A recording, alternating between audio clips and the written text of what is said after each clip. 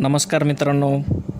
स्वागत आहे तुमचे आपल्या पशुपालक माझा मित्र या यूट्यूब चॅनलवर मित्रांनो आता थंबनेल बघून तुमच्या लक्षात आलेच असेल की आजच्या व्हिडिओमध्ये मी काय सांगणार आहे ते.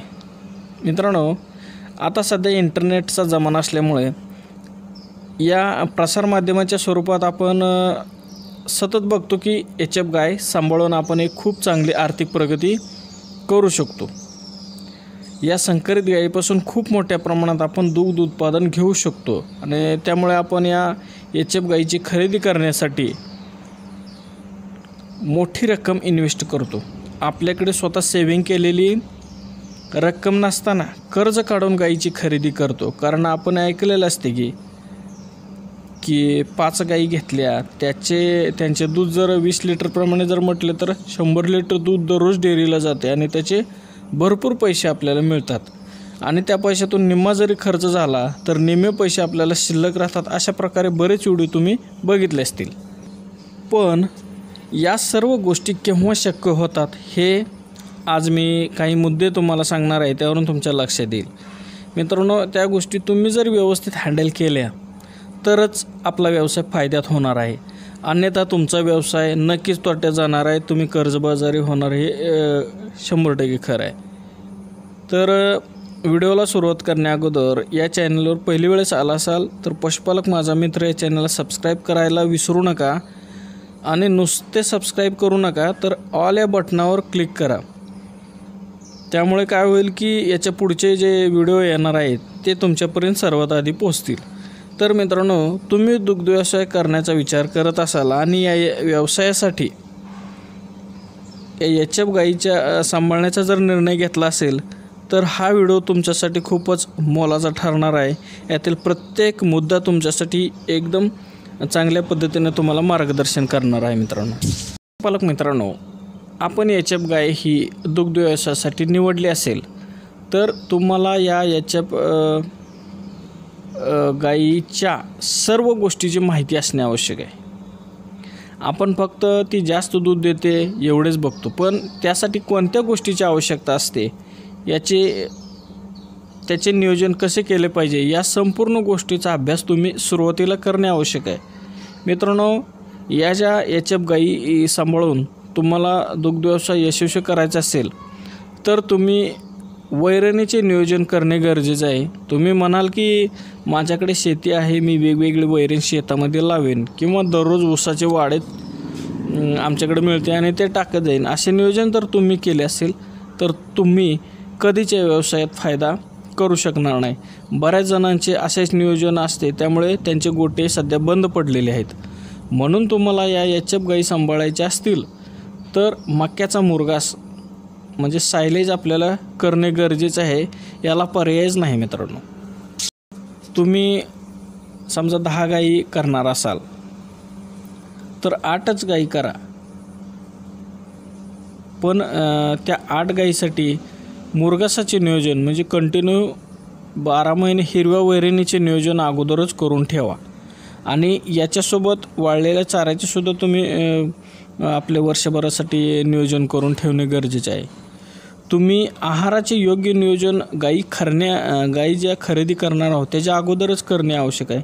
नाहीतर तुम्ही गाई आणल्यावर वैरणीसाठी इकडे तिकडे पळापळ करत बसाल तर तुम्ही नुकसानी जाणार यात तीळ मात्र शंका नाही. मित्रांनो या चाऱ्याच्या नियोजनाबरोबर या ज्या बाहेर देशातील एच एफ गायी आहेत त्यांना जास्त थंडी सहन होत नाही आणि जास्त ऊनही सहन होत नाही.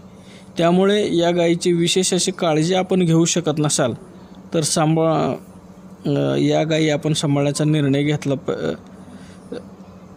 तर आपलं देशी जनावरासारखी यांची नसते की सकाळी एकदा वैरण पाणी वैरण करायचे आणि संध्याकाळी एकदा.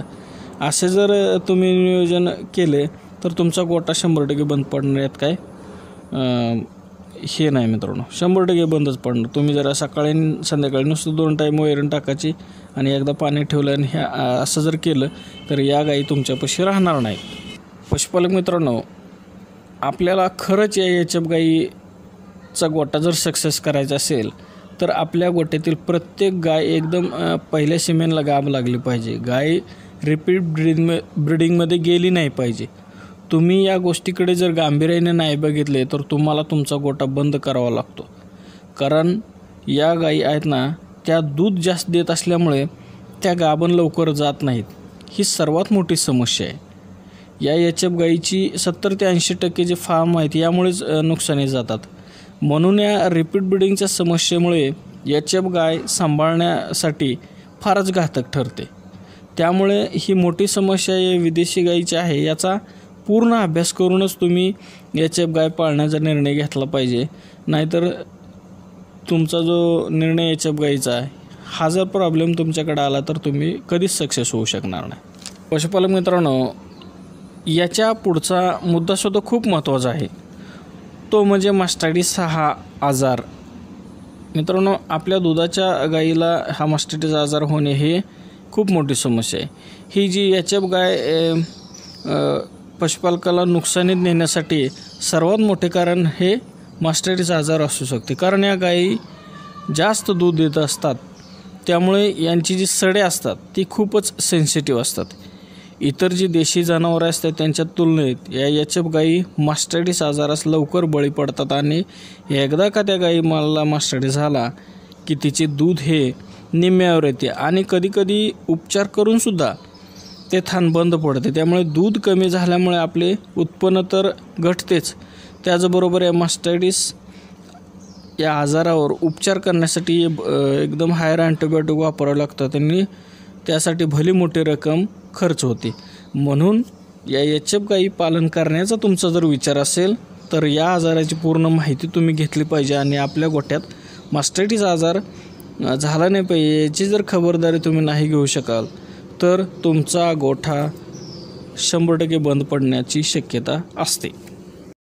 पशुपालक मित्रांनो या एच गाई नवीन पशुपालकाला तोट्यात आणण्याचे कारण आणखीन एक आहे ते म्हणजे या गाईची जी रोगप्रतिकारक शक्ती आहे ती फारच कमी असते. आपण समजा आपला जो गोटा आहे ज्या ठिकाणी आपला गोटा आहे त्याच्या आसपास अगदी शेजारच्या गावात एखादा जरी आजार आला तर त्या आजाराची लागण या एच एफ गायींना लगेच होते. आपल्या देशी जनावराच्या तुलनेत या गायीची इम्युनिटी पॉवर खूपच कमी असते. म्हणून डास असतील मच्छर असतील किंवा इतर परजीवी असतील यांच्यामार्फत जे आजार होतात त्यांचा शिरकाव या गा गायीच्या जातीला मध्ये फार लवकर पसरतो. थायलेरिया असेल बबेसी असेल अशा प्रकारचे आजार या गायींमध्ये खूप जास्त प्रमाणात होतात. आणि अशा आजारास ती गाय जर बळी पडली तर तिची पूर्ण वेत ती वेत नुकसानी जाते. ते आपल्याला दूध फारच कमी देते. आणि एखाद्या वेळेस हा आजार जास्त तीव्र स्वरूपाचा जर असेल तर कधीकधी या आजारात गायीचा मृत्यूसुद्धा होऊ शकतो. ही एक खूप मोठी समस्या या एच एफ गायीमधील आहे मित्रांनो. पशुपालक मित्रांनो या एच एफ गायीमधील आणखीन एक अशी मोठी अशी समस्या आहे की या गाईला रुमिनल ॲसिडोसिस या प्रकारची समस्या खूप जास्त प्रमाणात येते. कारण काय असते की ही गाय जास्त दूध देत दूध देत असल्यामुळे आपण खुराकाचे प्रमाण जास्त देतो. त्यामुळे ऐंशी टक्के गायींना हा रुमिनल ॲसिडोसिस होण्याची शक्यता असते. आणि रुमिनल ॲसिडोसिस झाला की गाय लंगडणे तिला मास्टायटिस होणे ती रिपीट रिपीट माझावर येणे म्हणजे गाब न लागणे अशा समस्या येतात. मग यासाठी काय करावं लागतं? की सोडा वगैरे आपल्याला बरोबर त्या त्या पिरियडमध्ये वापरावा लागतो. तर ह्या गोष्टी तुम्हाला जर नाही कळल्या तर ही समस्या खूप मोठ्या प्रमाणात वाढत जाते आणि हे आपल्या लक्षातसुद्धा येत नाही. आपण फक्त दूध काढतो आणि हे खुराक टाकतो आणि दूध काढतो. त्यामुळे किती मोठे प्रॉब्लेम होतात हे तुम्हाला लवकर लक्षात येत नाही. आणि ही एक मोठी समस्या आहे की आपला गोठा बंद पडण्यासाठी ही सुद्धा समस्या कारणीभूत ठरते मित्रांनो. पशुपालक मित्रांनो हे जे मी या व्हिडिओमध्ये तुम्हाला मुद्दे सांगितले आहेत त्यापैकी एक जरी आपल्या गाईला लागू झाला म्हणजे एका जरी प्रॉब्लेम आपल्या गाईला आला तर जे नवीन पशुपालक या एच एफ गाई पालन कर करतात त्यांचे खूप मोठे नुकसान होते आणि त्यांना हा व्यवसाय बरबाद करून टाकतो. त्यामुळे याच्या गाय सांभाळायच्या असतील तर या गोष्टी आपल्याला आपल्या गायीपासून लांब असतील आपल्याला ठेवणे गरजेचे आहे. तरच आपण फायद्यात राहू शकतो. आणि मित्रांनो जी रिअल परिस्थिती आहे ती तुम्हाला सांगितली आहे. त्यामुळे तुम्ही असे समजू नका की डॉक्टर साहेबांनी आम्हाला याच्या गायी पालन करणे परवडत नाही. असे सांगितले. असा तुमचा गैरसमज करून घेऊ नका.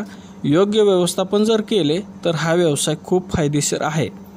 तर मित्रांनो तुम्हाला ही जे मी मुद्दे मांडले आहेत ते जर मुद्दे तुम्हाला आवडले असतील तर या व्हिडिओला लाईक करा आणि हा व्हिडिओ आपल्या इतर पशुपालक मित्रांना शेअर करा. तर भेटूया अशाच एका नवीन व्हिडिओमध्ये. तोपर्यंत धन्यवाद.